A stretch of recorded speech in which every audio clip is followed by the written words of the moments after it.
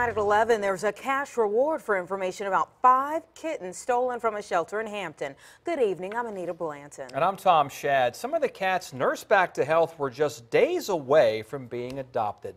Ten of your sides, Joe Fisher is here now with the shelter's plea for help. Joe? Well, Tom and Anita, the Cat Corner is a nonprofit no-kill shelter in Phoebus, and tonight they have a question, which is why? Why would someone or perhaps a group of people not only break into their place, but then steal five cats right from their cages?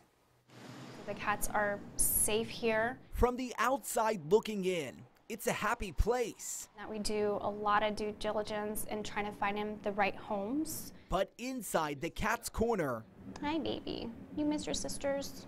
there's empty cages and heartbreak from the shelter manager. It's kind of a sick feeling because we don't know where they are. The cages were already open when a volunteer showed up Monday morning. Marsha, Lapis, Ashley, Emerald, and Diamond were all gone. I don't think they, they realize how much we really care about the cats. Tiffany Young says the suspects came in through this side window There was actually footprints. and hoisted the cats out in two cat carriers.